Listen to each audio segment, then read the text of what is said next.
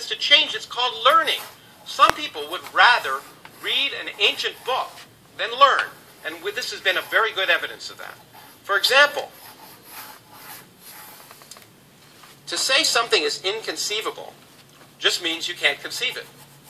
But the great thing about the universe, and the reason that I do science, is that the universe has a much greater imagination than we do. In fact, there are more things in heaven and earth that are dreamt of in your philosophy. And that's what's wonderful about the universe. Things that are inconceivable happen all the time. And what, we, what that does is that expands our mind. And expanding our minds to conform to the evidence of reality is common sense. Human civilization began by putting purpose and, and, and intelligent purpose behind gods associated with the sun, the moon, the planets, the wind, the earth, the oceans. There, it's been, by one estimate, over a thousand different gods throughout human history. Mars, God of War, Poseidon, Thor, all the rest. And the really important thing is that all of you, or almost all of you probably, are now atheists regarding those gods.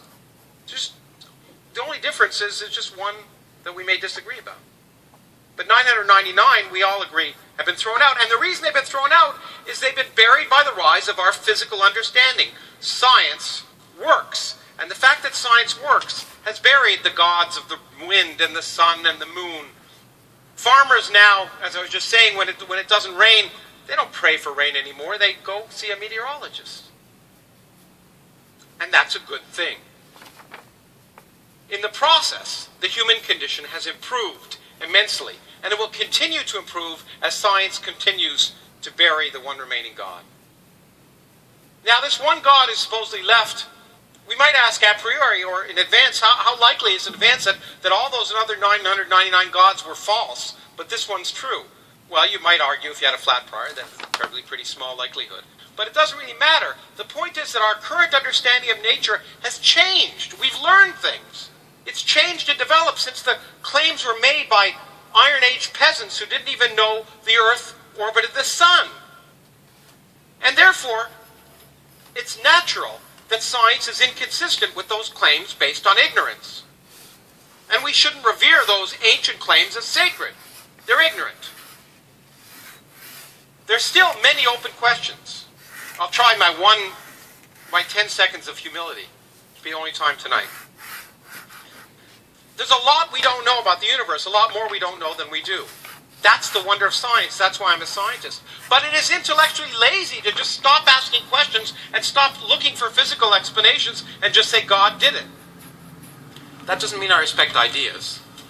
Okay, some ideas are ridiculous. And that's perfectly reasonable. In fact, ridiculing ideas is what makes progress.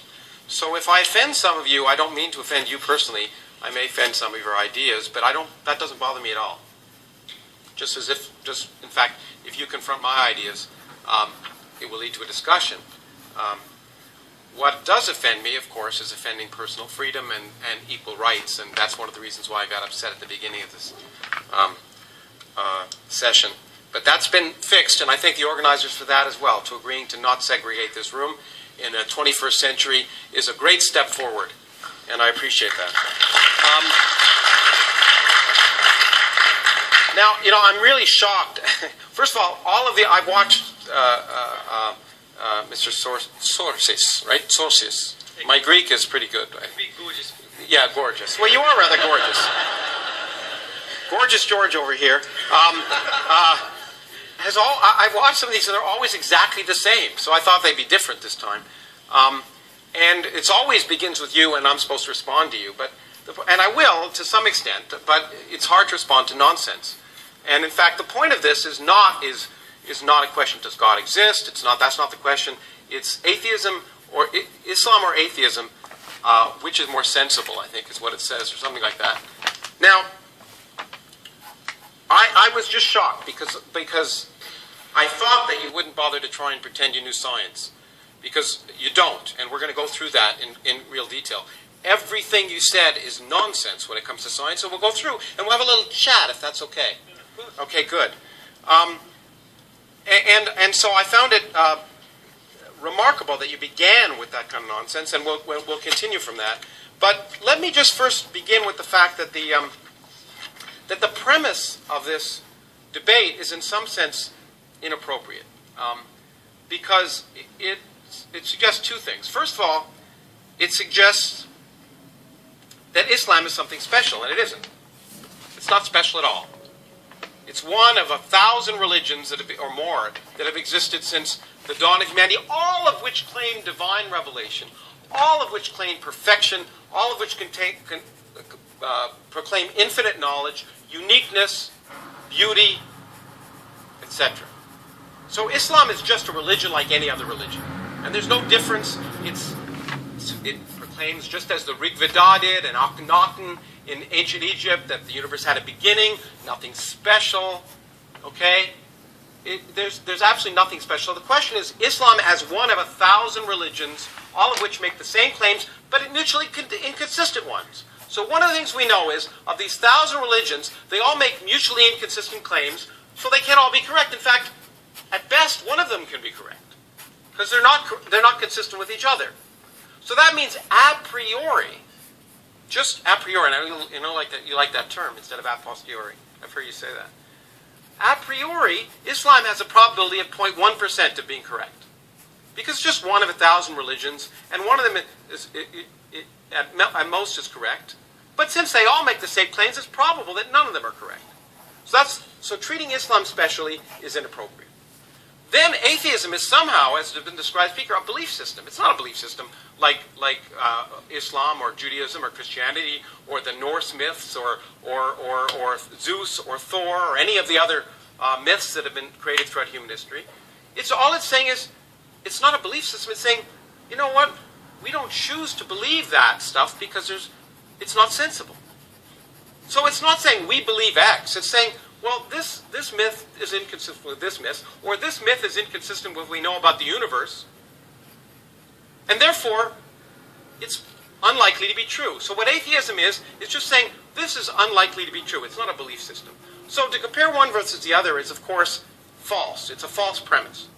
And when it comes to the origin of the universe, we are coming remarkably close to the realization that you don't need any miracle for that either.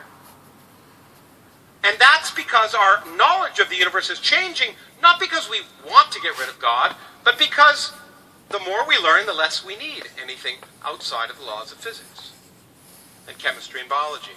But it's good because science does more than that. It just doesn't just tell us about the world, it makes the world a better place. It gets rid of the vile, awful, immoral works like the Bible. The worldview that I would argue is guides most of you in this room today, including those of you people of faith, which I assume is some fraction of the people in this audience. Those spiritual values of any educated person today are largely the worldview given us by science. You, your worldview is vastly different than it would have been four centuries ago. By stripping ecclesiastical authority of its credibility on factual matters, which we've certainly done, we cast doubt on its claims to certainty in matters of morality, which is great. Because we now think that women are equal to men, that we don't hate gays, all of the stupid myths that are permeated by various religions. The facts of science, moreover, force us to take responsibility for the welfare of ourselves, our species, and our planet. And that is what we need to do in the 21st century. Now, here's, here's an idea of why common sense should tell you that Islam, like many other religions, is not common sense. Because, homosexuality is perfectly natural. In all, in all animal species, almost, it's natural. It occurs with a 10% frequency. Okay? In fact, there are good evolutionary reasons for homosexuality. So, in that sense, there's no reason and a fundamental. Why would a God who thought it was a sin make it natural among all species? I don't think the sheep, by the way, which 10% of sheep are long-term homosexual relationships. Okay? Why would a God who thought it was a sin create sheep who don't have a soul, who can't, who aren't able to think about it, be homosexual?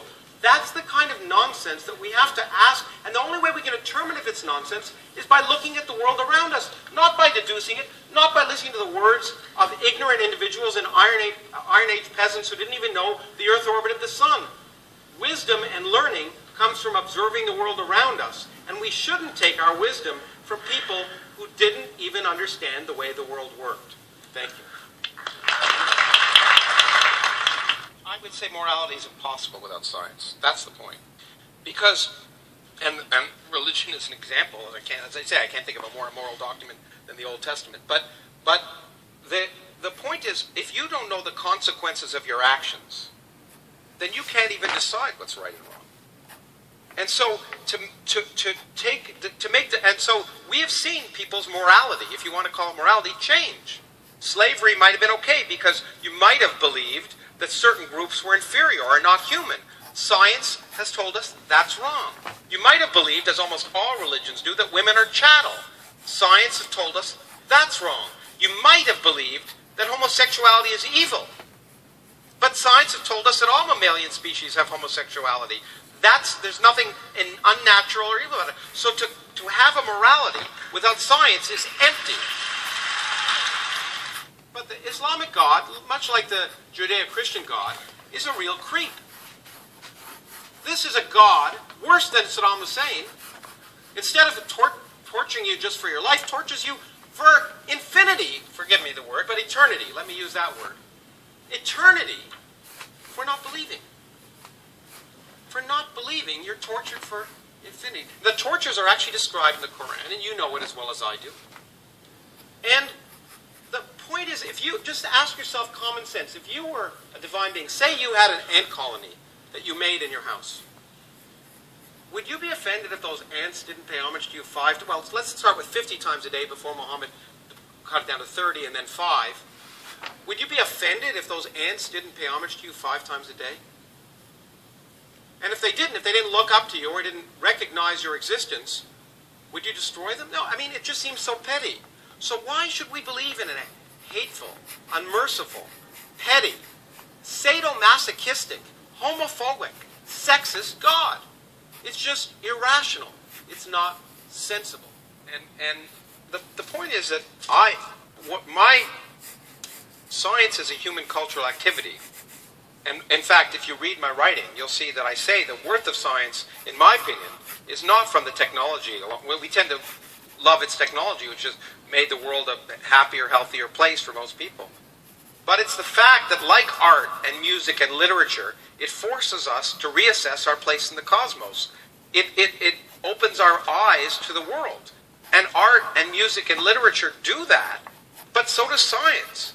And there's no sense in which science reduces the value of art, music, and literature. As, as, as, and in fact, the most famous example I know of in that regard is from Richard Feynman. I wrote a book about, who said that a rainbow isn't any less beautiful because you understand how it's caused, it's much more beautiful. When you understand the amazing things that are happening, in fact, it's much more exciting. That's the great thing about science, which you can call atheism if you wish, is you're willing to change your beliefs. You're not assuming the answers before you ask the question. You're not assuming you know what's divinely right just because you interpret a certain book to mean a certain thing, and someone else may interpret it to mean something else. You will agree there are different interpretations of every book, including the Bible and the Quran. And so, you, to presume that you know divine truth before you've asked the universe is not sensible. I think what you said is correct. You found, you found a way to find an ethical theory that makes those two apparently inconsistent things consistent. Okay? Yeah, right. And I think, and I've had a lot of discussions on stage and off stage with various theologians whose job is to do just that to find ways to resolve apparent inconsistencies, to find eth- ethical solutions that validate their belief. But that is what's wrong. Because the point of science and the reason it works is you don't just try and prove something you like to be true, you also try and prove it to be false. And that's what's really important. You don't just find a way to say the rainbows are caused by this or that. You actually try and see if your ideas are wrong and ask what's more plausible. And based on evidence and, and inquiry, what's more plausible. So what I find problematic is that the effort to find a rational excuse for something can work, but that doesn't make it right.